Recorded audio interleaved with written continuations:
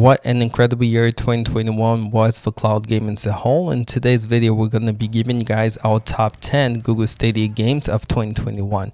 Let's get into this.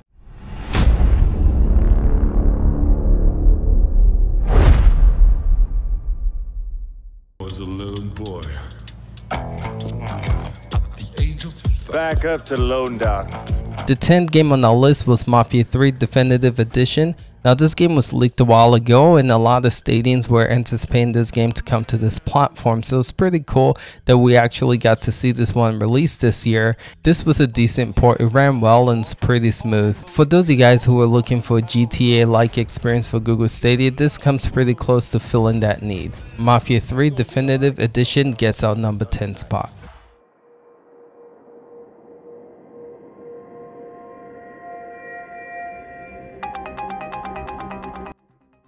The ninth game on our list is Judgment. Now, this is a spin-off game of the Yakuza series. And again, for those of you guys who are looking for a Yakuza-like game for Google Stadia, this game meets that need for you. Incredible story. This is the remastered version of the game too, so graphically this looks really impressive. This was a great get for Google Stadia and I highly recommend you guys, if you're looking for a good story-driven game with an awesome combat, definitely check this one out. Judgment gets our number 9 spot.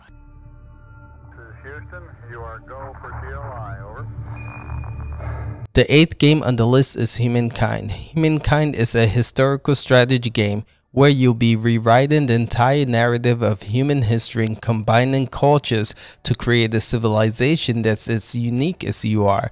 Now I've played this game for a little bit. If you guys are looking for an Age of Empire fix for the Google Stadia platform, this is probably the closest you will get. So this is also the first game on Google Stadia to offer direct touch controls. Would highly recommend this one if you guys are into this genre type of game.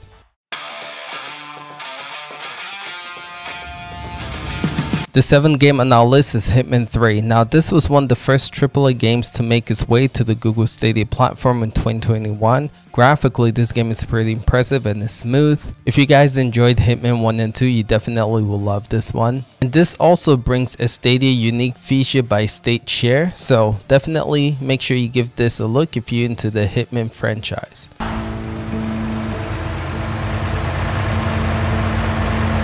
The sixth game on our list is Farm Sim 2022. Now, there's a couple of reasons why this game made the sixth spot. There's been a trend in Google Stadia in 2021 where they got some games last year, but they're missing those games this year, like NBA 2K and F1 Racing Series. Uh, Farm Sim 2021 was a game we got last year and it's pretty cool to see the sequel come to the platform this year. But if you are into Simulator, I have to say this is one of the best ones out there. Very popular. Highly would recommend that you check it out for Google Stadia as well. Once upon a time, there is a dream. A dream of wide open skies. The fifth game on our list is Riders Republic. Now I have to say this is a game that took us by surprise. This game got delayed and honestly speaking I didn't think it would turn out well. Now for Google Stadia I have to say performance wise this game does not perform the best but to me personally I felt like it ran good enough to have an enjoyable experience. Riders Republic is incredible, it's chaotic but it's a lot of fun. If you ever played the game Motorstorm for the PlayStation 3 console, Think about that game when you think about this times 100. It's absolutely madness and a blast to play. Highly would recommend you check this out if you're into racers. It's hard to imagine that this was a different world once, but that was before the fog. The fourth game on our list is Wavetale. Wavetale is a time Stadia exclusive from Thunderful Games. It's available now and it's free for pro members. In Wavetale, you explore the open sea. This is a story-driven action-adventure game. This game is really fun, has a Breath of the Wild vibe, and it looks and plays great on the Google Stadia platform. If you guys are looking for a good adventure game, I would highly recommend this one.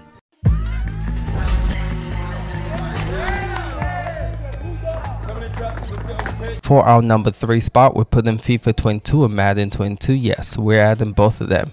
If you're a sports fan, Stadia was actually a good platform to play sports game this year. Yes, we missed NBA 2K, but we got FIFA 22 and Madden 22. These were also decent port. Yeah, people can make the argument that Madden 22 is not next gen, least FIFA 22 gave us some next gen features. Would highly recommend these games, the ports were actually done really well. Definitely make sure you check these games out if you're into sports games on Google Stadia. Rebuild paradise. The cost The number 2 game on our list is Far Cry 6. Far Cry 6 is a 2021 action-adventure first-person shooter game developed by Ubisoft Toronto and published by Ubisoft. If you're used to the Far Cry series, you know what this game is all about. Open world, story-driven mayhem where the bad guy's performance stands out more than anything. If you guys watch the show Breaking Bad, you'll be familiar with the bad guy in this game. Visually, this game is stunning on Google Stadia, and performance-wise is pretty impressive. This was in a lot of people's Game of the Year list, and this definitely deserves the number 2 spot here. Would highly recommend if you're into first-person shooters to give Far Cry 6 a look on Google Stadia. Ethan Winters.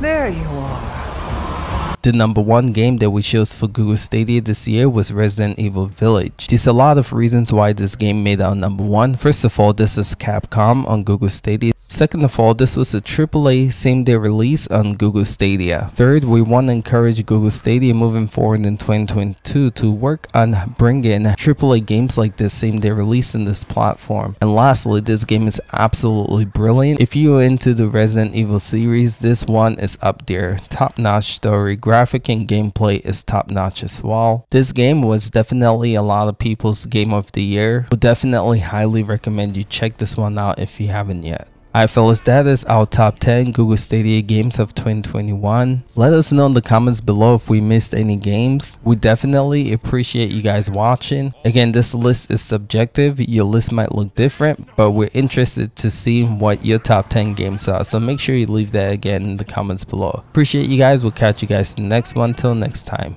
Peace out.